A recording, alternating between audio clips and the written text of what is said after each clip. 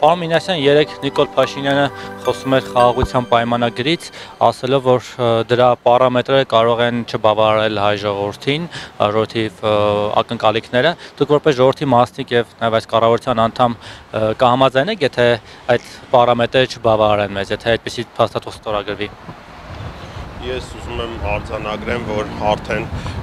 ազգային ժողով կառավարություն հարցի պատասխան ֆորմատով թվով երկրորդ նման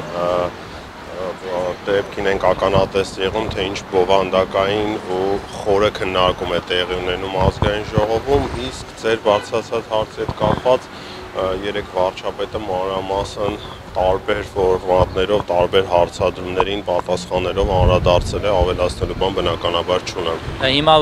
հանրությունը սպասում է թե ինչ պայմանագիր պետք է կնքվի Ադրբեջանի հետ։ Հիմա ուզում ենք հասկանալ այդ ինչ պարամետրերի մասն են խոսում, որը մեզ չպետք է մեր շահերից բխի առհասարակ երբ դու բոլոր առհասարակ բոլոր հարաբերություններում երբ դու գտնվում ես բանակցային փուլում դրա ինչ որ դետալներ, մանրամասները կարծում եմ ճիշտ չի իսկ հաստատ դրա բովանդակությունը եւ դրա հետ կապված բոլոր հիմնական ասելիքները արդեն մի քանի անգամ եւ երեք մասնավորապես հնչեցվել է ազգային։ Երեկվա մասով մի հարցել եմ, բայց ոչ այդ մի ճշտում։ Դուք հիշում եք որ Նիկոլ Փաշինյանը ասում էր, որ Արցախի հարցի լուծում պետք է բավարարի, պետք է կամ պետք է բխի Հայաստանի ժողովրդի շահից Արցախի եւ Ադրբեջանի։ Հիմա փաստորեն ստացվում է միայն իրենց շահերից է բխում։ Մոտեցումը ասեցի արդեն։ Բա որ մեր շահերից չբխի մենք դրան ինչպես ենք արձագանքելու։ Պատասխանեցի այդ հարցը։ Լավ, ասացիք երեք խորը քննարկում եղավ, պարոն Մինասյան։ Այդ խորը քննարկման մեջ նաև Նիկոլ Փաշինյանը հայնասիրության իր մոդելներ առաջարկում, ձեզ համար ընդունել է այդ մոդելը, որ պետք է արքանային, այսպես ասած, սիրենք հայրենիքը սիրելուց առաջ կամ հետո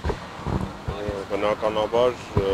երեկվա հնչեցրած բոլոր դիտարկումները ոչ միայն ընդունելի են, նաև ես ականատես եղավ այդ քննարկման շրջանակներում նաև մեր որոշ ընդդիմադիր գործընկերներ այլևս հարցեր չունեն, քանի որ ընդհանուր գաղափարները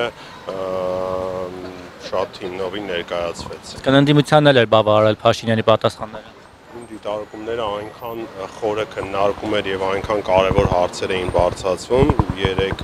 եւ նույն եւ նաեւ նախորդ հարց ու պատասխանի ընթացքում, որ եթե ինչ որ մեկը նայի այդ տեսանյութները, երևի գրեթե մեր 100-ամյա, եթե ոչ ավել պատմության բազմաթիվ հարցերի պատասխաններ են տրվում։ Իդեպ Փաշինյանը չթաքցրեց, որ Հայաստանը բարդ երկընտրանքի առաջ է կանած եւ լինել չլինելու հարցը։ Հիմա ապաստան ձեր իշխանության օրոք մեր գոյությունը վտանգի տակ է տրված, պարոն Մինասյան։ Այսօր բազմաթիվ պետություններ, նաև Հայաստանը ինչպես վարչապետը երեք նշեց, պետություն ունենալու կռիվ են տալի եւ մենք նույնպես այդ երկրներից ենք, որտեղ ամեն օր մեր աշխատանքով, մեր տնտեսական առավելություններ հաստատումով այդ պայքարի մեջ ենք եւ դա գաղտնիք չէ, ուղղակի շատերը շատ անգամ չեն խոսում եւ ինչ որ արհեստական օրակարգեր են մտցնում եւ շատ կարեւոր են համարում, որ թե մեր հանրայությանը թե քաղաքական գործիչներին այսպես բաց թափանցիկ իրականությունը պետք է քննարկվի եւ խոսացվի։ Պարոն Մինասյան, այդ արհեստական օրակարգը մտցվեց, երբ որ Նիկոլ Փաշինյանը եկավ իշխանության օրոք, այսինքն լինել չլինելու արհեստական օրակարգը։ Նախորդ իշխանությունների օրոք, որի մաս եք կազմում նաեւ դուք եւ ՀՀԿ անդամ եք, այդ ժամ ու քննադատում եք Փաշինյանին, նշեցնեմ։ Այդ ժամանակ մեր գոյության լինել չլինելու խնդիր չկար Կար տնտեսությունը զարգացնելու խնդիր օրինակ։ Դե դիտարկումների հետ բնականաբար համաձայն չեմ, իսկ այն ինչ որ այսօր քննարկվում է հարյուրամյակների հարց է բարձրացում, ուղղակի շատ քչերն են համարձակություն ունենում իրականությանը այդպես ուղիղ նայել եւ դրա մասին խոսել։ Որն է իրականությունը։ Որ պայքար է